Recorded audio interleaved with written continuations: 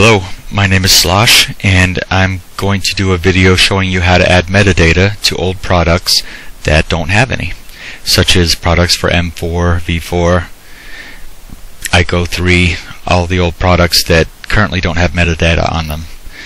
In this example, I'm going to use Michael 4, which I've already preloaded into the scene so that you don't have to wait for him to load. And we're going to put his Stylin for M4 outfit on. So I'm going to come up here to my poser formats and I keep all my clothing in a clothing folder rather than my library, but yours will be different. Figures, Stylin M4, and here are the five elements that make up the outfit. There's also a pair of sunglasses which we will be adding to the scene uh, before we proceed through all the steps. First thing I want to do, and the reason that I have Michael 4 loaded into the scene, is that I want to make sure that Daz Studio recognizes these five items for what they are. And what I mean by that is this. Let me load this v-neck sweater in. And you'll see if I right click and select the v-neck, over here in Smart Content it says no selection. Daz Studio doesn't know that this is Stylin for M4 v-neck sweater. So we want to first establish all these clothing items for what they are before we try to assign metadata. So I'm going to load the rest of the items into the scene and you can either do them one at a time or highlight each one right click and put merge into scene in which case they will all eh, they're supposed to merge to Michael but, but I didn't have him selected so let me redo that take, I'm just going to take all these clothes out remove make sure Michael's selected Go to Content Library, select all five, right click, merge into scene, and they will each fit themselves to Michael. And then I'm also going to come down here to props and put his sunglasses on. So props, Stylin for M4. There, that comprises his entire outfit now. Back in the scene tab, I'll select all the clothing items there. And I'm going to have to open this up to Michael's head to get the sunglasses. Hold down the control key, that'll add it to it. Now I've got the sunglasses, both boots, both shirts, and the pants all selected. Come up to this sub menu here and go down to Edit, Set Default Compatibility Bases. And when you do that, this little window comes up and you can see it's blank because right now it's showing that none of these items are assigned to any kind of compatibility. Click this little ellipse on the side and you'll get a list of all the products that are installed in your system. And if I come down to the S's, you'll see that Stylin for M4 is not in there. So come up to this little submenu, create a new root compatibility base, and then type in Stylin for M4. Click OK. And now you'll see it's there.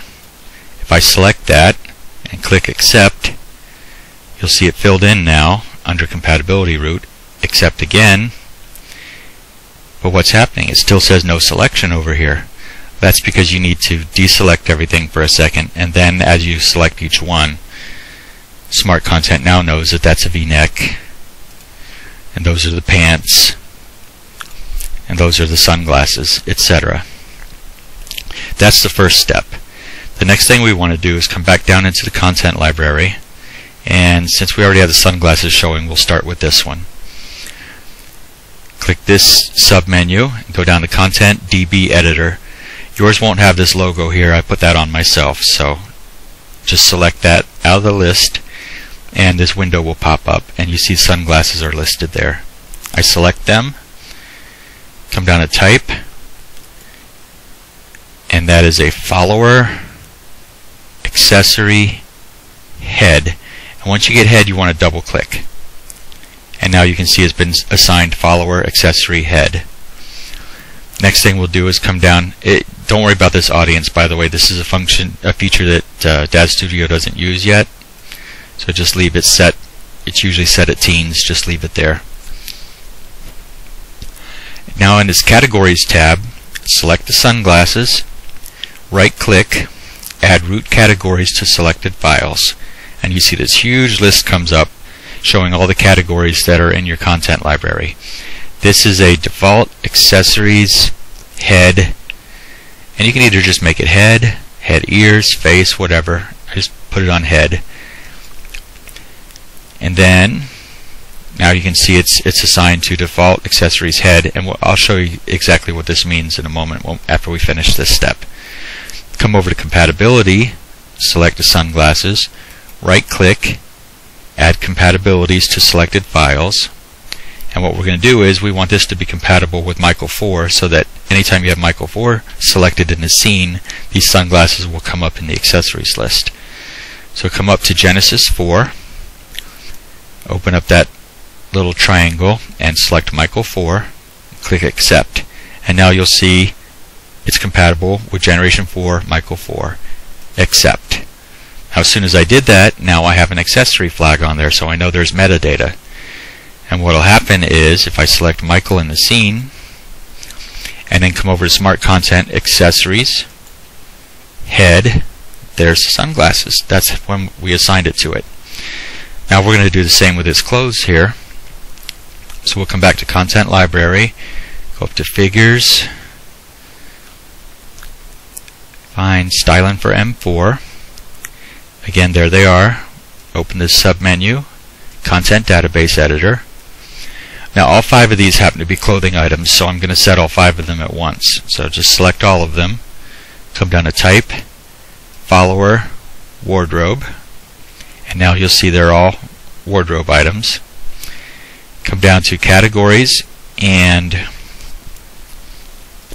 I'm going to select both of the boots first and do them first because they're both footwear.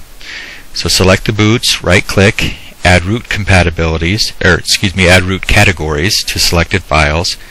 Again, that huge list comes up. This is default wardrobe, and this is all alphabetical, so wardrobe is going to be at the end here. Default wardrobe footwear. Then this shirt and this v-neck are both shirts, so I selected both of those.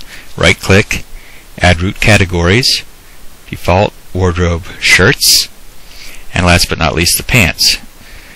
Select it, right click, add root categories, default wardrobe pants.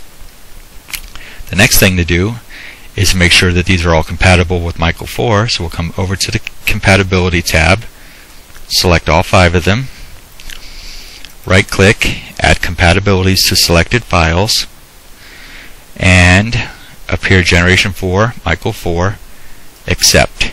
Now if I open these little triangles you'll see each one has been made compatible with Michael 4. Click accept and you're done. So actually now if I select Michael in the scene, which he already is selected, then I come over here to uh, wardrobe, pants, and there they are. There's the pants. Shirts, both of the shirts are now listed in there. And footwear, where did it go? Sometimes you might have to come down to an empty area, right click and hit refresh. Wardrobe, footwear, and there are the boots. And once again, in accessories, his glasses are still there, along with my specs, by the way. Buy them, please. anyway, that's assigning metadata to the clothing items. See now if we take them out of the scene, select Michael 4, it's still going to be there. Go down to wardrobe, pants, and there they are. Now what we want to do is assign metadata to the materials to go with all these clothing items. So in my poser content, I'll come down to pose, find Stylin M4, and here's all the materials that are available for this product. See how this one doesn't show the icon? Sometimes you just need to do a refresh and it'll come back. Anyway, once again, up here to Content Database Editor. Uh, these first two, thighs off and thighs on, they apply to Michael's thighs. They'll actually turn them off so that there's no poke through when you have the jeans on. So let's start with those. Just select those two, come down to Type, Preset, pose, double click on pose. For categories, select both of them, right click, add root categories, as default, poses, by function, and I'm going to put it under by function fits because it's for fitting clothing. Next, you can select all the rest of them because they're all material files. Go down to type, preset, double click materials. Now they're all preset materials. And for categories, come down, select all of them again. Right click, add root categories. That's the default material wardrobe. Default materials wardrobe. Then come to compatibility. I'm going to select this overshirt and this overshirt. Right click, add compatibilities. And then I'm going to scroll down to the Stylin for M4 category. Excuse me for a second. Sorry about that. Stylin for M4. If you open up the little triangle next to it, you'll see all the clothing items listed now. So we'll choose the overshirt, click accept. Unfortunately, boot left and boot right are separate, so we're going to click boot left, add compatibilities, boot left, add compatibilities for boot right, the jeans, add compatibilities, pants, different name, same item, sunglasses with a logo, sunglasses without a logo. Select both of them, right click, add compatibilities, sunglasses, and last but not least, v-neck, right click, add compatibilities, v-neck, accept, accept, and you'll see now that there's poses and materials and it's actually all done. They're categorized. So what I'm going to do is I'm going to put these cl clothes back on them so you can see them working.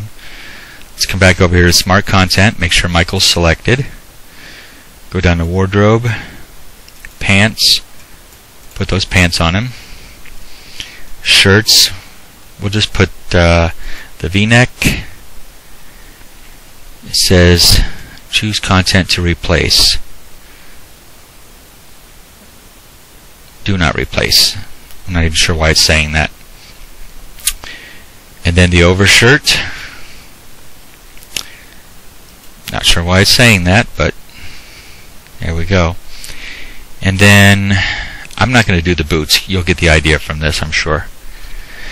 So now if you come over here and you select the pants and then click on materials, there's your pants materials.